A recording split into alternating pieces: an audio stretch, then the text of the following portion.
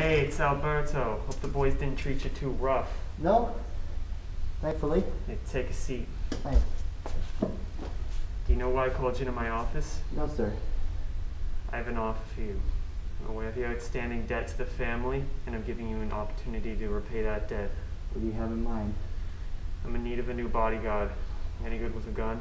Well, I fought in the Battle of Capariello, so I've learned a thing or two. But killing ain't my thing anymore. It's an interesting offer, but I'm afraid I'm gonna have to refuse. So let me get this straight. I make you this generous offer and invite you into my home.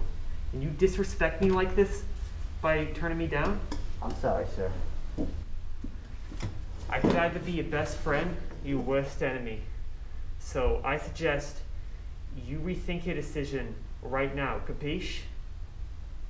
Well, I don't. I'm. I'm not counting on dying today. Yeah, good choice. When do I start? 8 a.m. by the docks tomorrow. I'm gonna need some muscle. We got a shipment coming through. All right, boss.